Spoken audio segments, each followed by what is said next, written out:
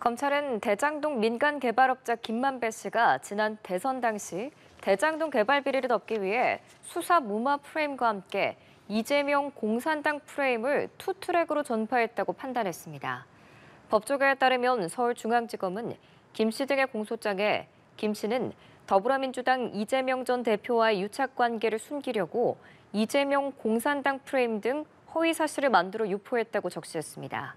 또한 검찰은 김 씨가 남욱 씨에게 이재명 캠프에서 연락이 온다며 이른바 대장동 그분의 정체에 대한 인터뷰 번복을 종용한 걸로 파악했습니다.